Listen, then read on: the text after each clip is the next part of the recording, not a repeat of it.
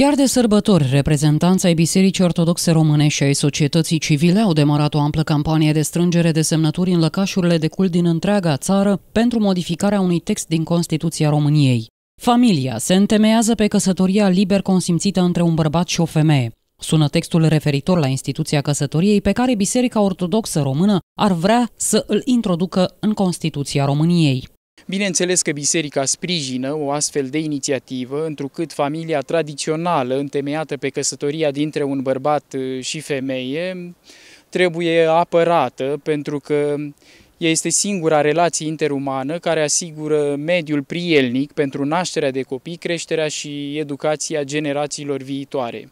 Semnături pentru modificarea articolului 48 din Constituția României se strâng în toată țara. Buzăul ocupă un loc fruntaș în topul județelor cu cel mai mare număr de semnături strânse până în prezent. Noi la Buzău avem peste 2000 de voluntari care strâng semnături și care sunt membri ai asociației noastre, Asociația Părinți pentru Ora de Religie din Buzău. Aceștia au avut un rezultat impresionant.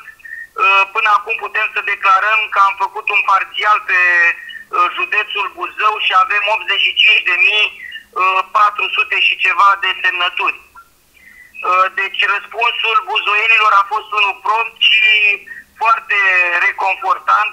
De precizat că redefinirea căsătoriei în Constituție a fost o dezbatere aprinsă și în Parlamentul României, iar strângerea de semnături vine în contextul în care 15 state din Europa permit deja căsătoriile între persoanele de același sex. În luna decembrie, Grecia a adoptat o lege care permite încheierea de parteneriate civile între persoane de același sex, în pofida protestelor și opoziției unor partide politice și a bisericii ortodoxe. Tot mai multe state europene au adoptat legi care permit încheierea unor astfel de parteneriate de către cuplurile de același sex, inclusiv în Marea Britanie, Spania și Cipru. Subiectul rămâne însă în continuare controversat în numeroase state membre ale Uniunii Europene.